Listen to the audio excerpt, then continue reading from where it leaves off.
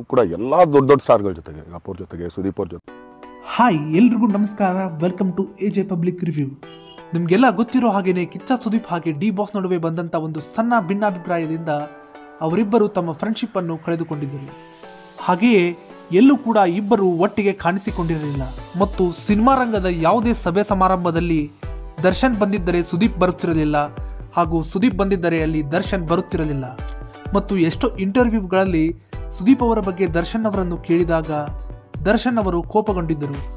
ಆದರೆ ಸುದೀಪ್ ಅವರ ಬಗ್ಗೆ ಎಲ್ಲಿಯೂ ದರ್ಶನ್ ಅವರು ಕೆಟ್ಟದಾಗಿ ಮಾತನಾಡಿರಲಿಲ್ಲ. ಹಾಗೂ ತನ್ನ ಗೆಳೆಯನನ್ನು ಯಾವುದೇ ಸಂದರ್ಭದಲ್ಲಿಯೂ ಬಿಟ್ಟು ಕೊಟ್ಟಿರಲಿಲ್ಲ ಆದರೆ ಇತ್ತೀಚೆಗೆ ನಡೆದಂಥ ಕ್ರಾಂತಿ ಸಿನಿಮಾದ ಇಂಟರ್ವ್ಯೂ ಒಂದರಲ್ಲಿ ದರ್ಶನ್ ಅವರು ಸುದೀಪ್ ಅವರ ಬಗ್ಗೆ ಮಾತನಾಡಿದ್ದಾರೆ.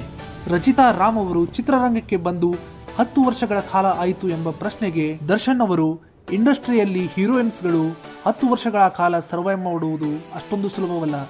ಅದರಲ್ಲೂ ಎಲ್ಲ ದೊಡ್ಡ ಸೂಪರ್ ಸ್ಟಾರ್ಗಳ ಜೊತೆಯೇ ನಟನೆ ಮಾಡಿದ್ದಾರೆ. ಪುನೀತ್ ರಾಜ್ಕುಮಾರ್ ಅವರು ಇರಬಹುದು ಮತ್ತು ಕಿಚ್ಚ ಸುದೀಪ್ ರವರು ಇರಬಹುದು ಎಂದು ಸುದೀಪ್ ಅವರ ಹೆಸರನ್ನು ಹೇಳಿದ್ದಾರೆ.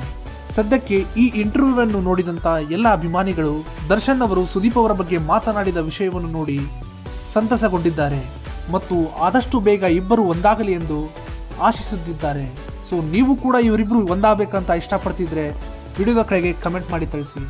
ಹಾಗೆ ಈ ವಿಡಿಯೋ ಇಷ್ಟ ಆಗಿದ್ದರೆ ವಿಡಿಯೋನ ಲೈಕ್ ಮಾಡಿ, ಹಾಗೆ ನನ್ನ ಚಾನಲ್ನ ಸಬ್ಸ್ಕ್ರೈಬ್ ಕೂಡ ಮಾಡ್ಕೊಳ್ಳಿ.